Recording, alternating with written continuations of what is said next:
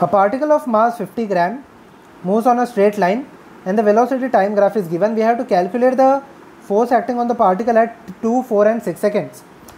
Let me name these point, points as A, B, C and D.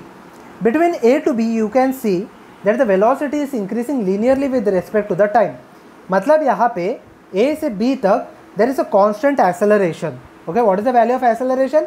We will see that later. Between B to C, the velocity remains constant.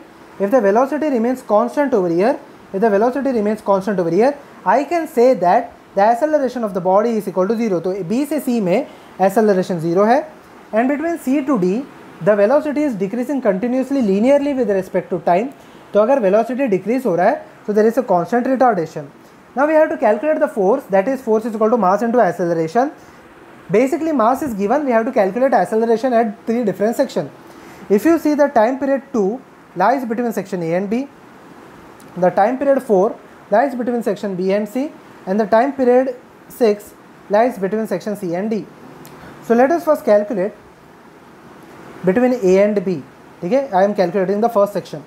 So over here, over here, acceleration will be equal to v2 minus v1 divided by t2 minus t1.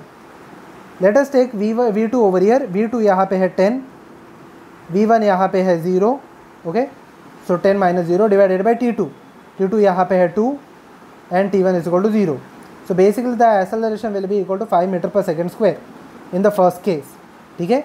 Similarly for the second case let me write this as A one let me write this as A two for the A two it will be equal to A two it will be equal to zero क्योंकि B से C के बीच में body का velocity constant है तो accelerate ही नहीं हो रहा है। Let us calculate for A three over year late us calculate for A3 V2 minus V1 that is over here V2 यहाँ पे if you see velocity in this case is 0 minus V1 at point C or at point D let us take at point D the velocity is equal to 10 divided by the time period time period यहाँ पे आएगा 8 minus 6 okay so it will be equal to minus 10 divided by 2 so minus 10 divided by 2 will be equal to minus 5 meter per second square. So the first in the first force in the first case will be equal to mass into acceleration which is equal to 50 gram. 50 gram in kg can be written as 0.05 okay?